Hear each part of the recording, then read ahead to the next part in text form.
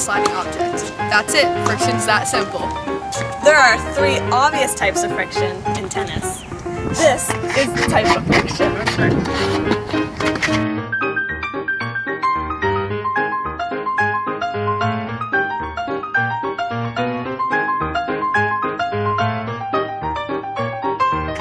With this tennis ball, gravity will pull it down.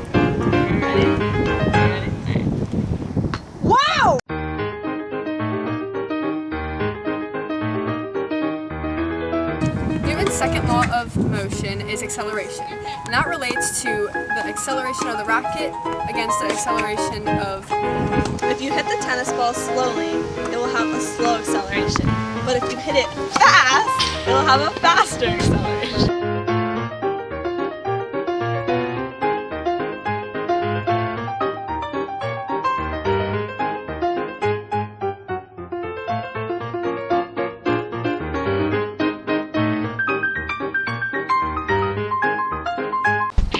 tennis court is a great place to be, but it might interfere with gravity. Friction takes place when the racket hits a ball, maybe even when it hits the wall.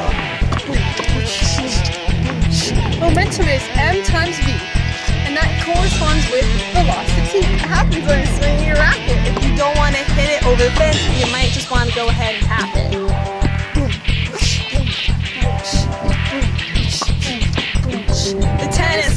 is the place to be. The ball will never be free. It also rhymes with velocity, and test starts with the T. Go.